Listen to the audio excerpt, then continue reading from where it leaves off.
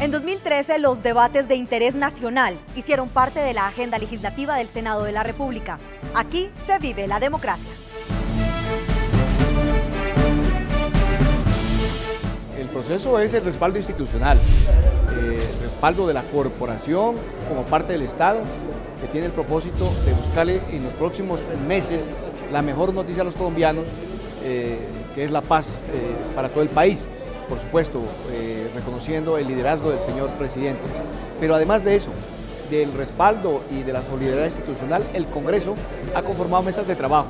La Comisión de Paz del Senado de la República ha visitado muchas regiones de Colombia, muchas ciudades, convocando a la ciudadanía, convocando a los colombianos a hacer propuestas, a plantear iniciativas y, por supuesto, a respaldar el proceso de paz. Conocer la gestión legislativa fortalece la democracia y aumenta la transparencia. Síganos en Twitter, arroba Senado.